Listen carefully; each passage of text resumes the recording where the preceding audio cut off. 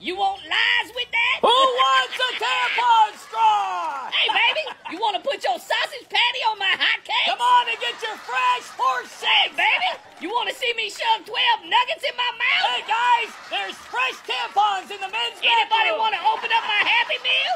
There's a surprise in there. Paul hasn't opened up my Happy Meal in years. I, I used to work at McDonald's too. Oh, damn! Wants my special whipped cream on their horse shanks? hey, who want to smell my fillet of fish? Paul hasn't smelled my fillet of fish in years. Damn, baby! Is that a McRib in your pocket, or you just happy to see me? There's tampons in the men's room, guys! Help yourself, Can they're somebody come and help me toss my salad? Hey, our horse shanks are filled with protein! Hey, baby, Wake I'll up! show you my milkshake if you show me your sausage McMuffin. oh. Anybody want to dip their nuggets in my special sauce? Well, there you go. What's going on, party people? What is going on? It's your ride share extraordinaire, your super duper Uber drivers here, guys. Yeah, thank you. Thank you. You guys, you already know the deal. Before you hop in my ride, do me a favor. Hit the like, hit that subscribe, por favor. Come on, let's do this. Hop on in, buckle in, and let's go. Yeah! Okay, okay. Party people, welcome back. And if you're new to my channel, thank you for hitting that subscribe button. All right, Ken folks, what are we talking about today, folks? What are we talking about today?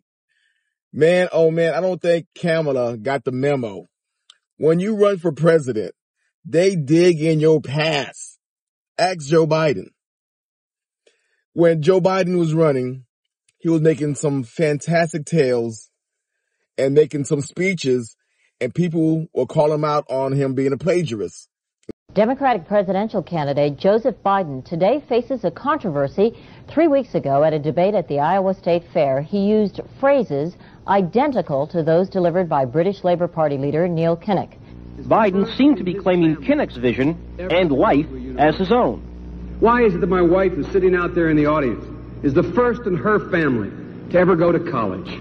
Why is Gladys the first woman in her family in a thousand generations to be able to get to university? My ancestors who worked in the coal mines in northeast Pennsylvania don't come up after 12 hours and play football. Eight hours underground and then come up and play football. It's because they didn't have a platform upon which to stand.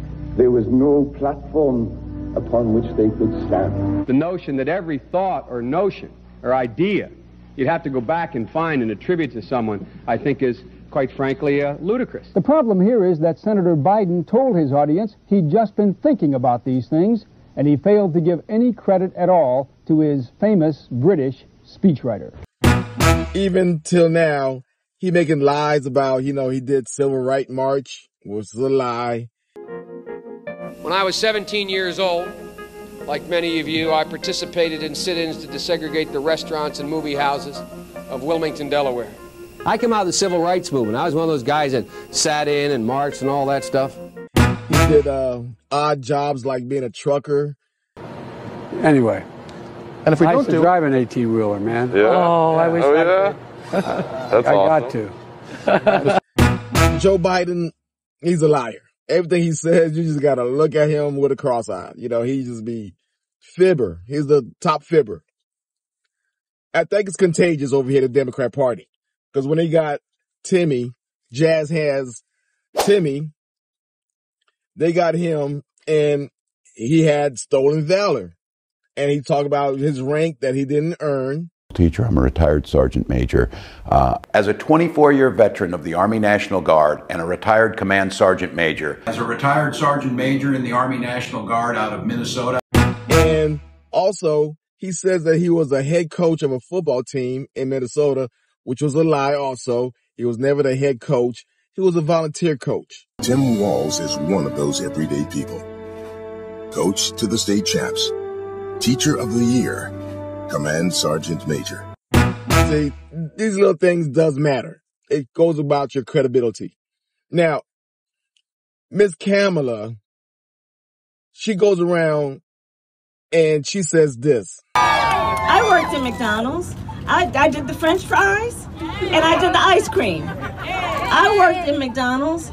I was a student when I was working at McDonald's. There was not a family relying on me to pay the rent, put food on the table, and keep the bills paid by the end of the month. But the reality of McDonald's is that a majority of the folks who are working there today are relying on that income to sustain a household and a family. And if we want to talk about these golden arches being a symbol of the best of America, well, the arches are falling short. And we have. Trying to connect with the people and say, yeah, I used to work at McDonald's. I used to do the fries. I used to do the cashier. And people can't raise families with this salary. So she wrote a book. In her book, she never mentioned she working at McDonald's. Never mentioned it. What? And so now the internet sleuth are out. They're going checking her past. And come to find out, there's no McDonald's that she said she worked at. Nowhere. Think about it. Two middle class kids, one a daughter of Oakland, California, who was raised by a working mother. I had a summer job at McDonald's. My goodness. You gotta lie to say that you work at McDonald's as if though we're not going to look at your work history or we're not going to go talk to your manager and see what kind of worker you were as a teenager. These little things do matter. She didn't get the memo. Now I want to see your birth certificate. God damn it. If you lie about this, if you lie about McDonald's, stolen cheeseburger, stolen working class history, what are you doing? But you know what? We got people like uh Quentin Tarantino here. He doesn't care. And there's definitely nothing you said that isn't right in a normal election cycle. I mean, it, it's it's it's it's it's irrefutably right in a normal election cycle where you have a year right to set your case. Um, I think there's just all about winning the fucking election, all right? And then the easiest path to winning the election. Look, you can talk about maybe she should have had more guts about this or that and the other, but we're, we're the fucking president. Right. And Trump's not the president, and we're the fucking president, and now it's going to be about this. But this is about fucking winning. What what most people don't give the Democrats enough credit for, all right, but we give the the Republicans credit for. It's like no, sometimes it's just about fucking winning, and it doesn't matter how we look right. at this moment. It's about fucking winning. Right. This is about fucking winning. Yep. No, it is. It's no. a mad fucking dash, and she is running, and she's not stopping to no. stumble. And you know what? And there's nothing wrong with I- stopping this. I'm going to vote for her fucking anyway, no matter what she says in a stupid fucking interview. Exactly. So don't fuck shit up. He's going to vote for her regardless. It doesn't matter. He just hates Trump. We got it. We get it. So if Kamala wins, you're going to get the America you deserve. so now we got Fox News out here on the hunt. Yeah, yeah, I know. I know. Fox News lies. Don't believe a word Fox News says. Believe CNN and MSNBC. I got it.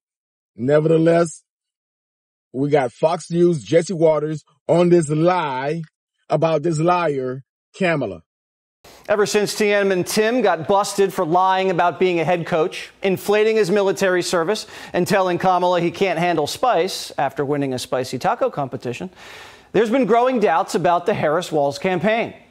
Tonight, one of Kamala's key elements to her biography is come into question, and it's a big one.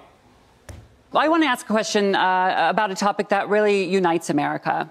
Fast food. Okay, so here's the deal. I, I heard a rumor that you worked at McDonald's. Is this I true? I did. Yes, I did I work didn't at know that about when I was you. in school. Uh-huh. Uh-huh. Me too. Mhm. I worked registered, drive-through, and grill. Uh, I was known as a triple threat. Okay, just for the record. I did fries. Just the just the fries. I did fries, and then I did the cashier. Okay, I'm impressed. Fries are Uh-huh. hard. A producer at Primetime who used to work the kitchen says fries aren't hard. They're the easiest. And Kamala didn't even start talking about cooking fries until she decided to run for president. There was no mention of McDonald's in both of her memoirs. And so far, all reporters looking into it have found no evidence. Andrew Kerr is a reporter at the Washington Free Beacon who's been investigating this story. So, what'd you find? Right. Well, Kamala's story about her job at McDonald's has shifted dramatically over the past couple weeks. Um, at first, her campaign came out and said that this was a job she worked to pay her way through college. Uh, but now they say that she worked there for one summer just to earn a little extra spending money. So, yeah, we looked into it. Uh, did she actually work at McDonald's? Well, she didn't mention it throughout the first several decades of her political career, uh, made no mention of it in both of her books, including her 2019 memoir, in which she devoted an entire chapter to the struggles of service industry workers. Uh, there's been several biographies published about her in the past couple years, none of which mention her job at McDonald's. Uh, the author of one of those biographies told us that he was not aware of the claim. We obtained a job application that Kamala filled out for a um, law clerk position in 1987 that instructed her to list every job that she had for the past 10 years. McDonald's is not mentioned in that uh, job application or in her resume. Um, at that time. Uh, we reached out to uh, McDonald's corporate several times asking, hey, can you confirm her employment? No response. We reached out to McDonald's in the Alameda area. Uh, none would say if Kamala, worked at her at their location. Uh, we reached out to the Harris campaign asking, hey, can you specify you know, which location in Alameda County that she worked at? And they won't answer. So it, it's possible that she did work at McDonald's for a few weeks in the summer of uh, 1983. But you know, when you put all this together, it just raises some very serious questions about what has become a foundational narrative that Democrats are relying on to connect uh, Kamala Harris to the working class. So McDonald's keeps pretty good records of their employees. Right, they have uh, a full-time archivist on, on file. you know, we we pestered them for weeks uh, okay. and never got a response. So they know everybody who's ever worked at a McDonald's, and you gave them a month or a couple weeks, and the maybe future president of the United States, something you'd want to brag about if you were McDonald's. They didn't get back to you with anything. That is, and you're right, Andrew, we're not saying she never worked at McDonald's. We're just saying it doesn't smell right and there's no evidence anywhere. Uh, Anything else you'd like to add? You do a really good job with this investigative reporting. Thank you. Yeah, you know, it, I think a great comparison is uh, the 2008 campaign. Uh, it was a big storyline. Obama's uh, first job as an ice cream scooper at Baskin Robbins. Uh, the difference with uh, then and now is that there was no mystery at all surrounding Obama's first job. Uh, news outlets published the address of his Baskin Robbins in Honolulu on their websites. Photographers posted photos of the location. Um, Baskin Robbins proudly touts on his website that Obama used to scoop ice cream for them. And the manager of that location you know, tout, uh, you know, joked uh, to the LA Times uh, in 2009 that she turned into somewhat of a media professional after dealing with so many reporters during the 2008 campaign. Uh, the same just can't be said about Harris. There's nothing but mystery no. surrounding her claim to work at McDonald's. Very mysterious. Maybe it was Burger King and she forgot. It's been a long time. Yeah. So, you black folks who want to claim Kamala, that's your people. That's your people. I'm not claiming her. You can have her. Jeez. Anyway, that's my thought for the day. If you guys got any value out my content, do me a favor. Hit the like. Hit that subscribe. You see that notification bell? Turn on that notification bell so you get my latest and greatest.